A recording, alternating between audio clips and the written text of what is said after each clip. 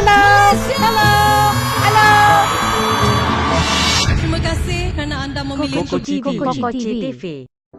Assalamualaikum semua. Bersama Dating Koni dijemput khas di sini. Welcome to Kokoci TV. Hari ini Dating Koni nak gosip-gosip sikit pasal Masa nak kahwin, I buang semua. Putri Sarah akhirnya dedahkan kepada Nilofa bagaimana dia boleh dapat petunjuk kecurangan suaminya. Pelakon Putri Sarah Liana berkongsi bagaimana dirinya diberi petunjuk oleh Allah selepas seminggu menunaikan solat sunat tahajud tentang perbuatan curang suaminya Syamsul Yusof. Dalam perkongsian menerusi sesi live bersama Nur Nilofa itu, Sarah berkata dia mengambil masa selama seminggu untuk Tuhan membuka pandangan matanya. It took me a week untuk Allah tunjuk semua. Macam Allah buka hijab I. Mula I macam CSI, Zing dapat tahu. Bukan itu sahaja, apabila ditanya bagaimana cara berdoa dengan betul untuk menghadapi masalah yang dihadapi, Pelakon berusia 37 tahun itu berkongsi cara berdoa yang tepat untuk meminta kesabaran dan ketenangan dalam menghadapi ujian. Sebelum ini, I selalu minta, Ya Allah, Ya Rahman, Ya Rahim, berikan aku kekuatan. Bila kita minta kekuatan, memang Allah akan bagi kita ujian banyak-banyak sebab bila Allah uji kita, kita kuat.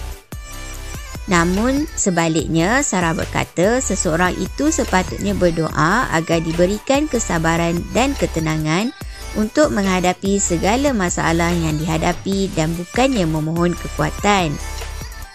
Meninjau di ruangan komen, rata-rata netizen turut bersetuju dengan perkongsian Sarah dan ramai yang berkongsi mereka turut mengamalkan amalan yang sama dan mengalami pengalaman yang sama.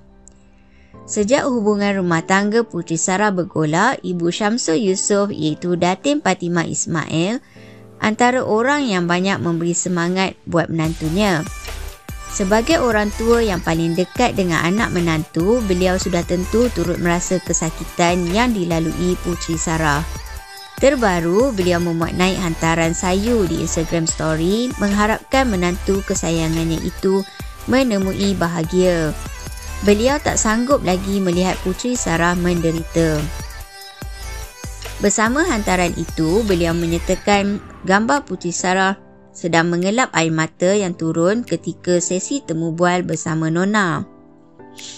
Terdahulu, Datin Fatimah Ismail enggan mengulas lanjut mengenai isu tuntutan cerai menantunya Putri Sarah Liana di Mahkamah Syariah Kuala Lumpur Isnin lalu. Beliau tak mahu kenyataan yang dikeluarkan nanti menjadi punca dia pula dihina netizen. Ya, kejap-kejap. Nak lihat apa seterusnya? Subscribe dulu, okey? Okey, sedikit ya. Janji-janji. Okey. Satu, dua, tiga. Okey, subscribe. Terima kasih. Sumpahan mulut aku.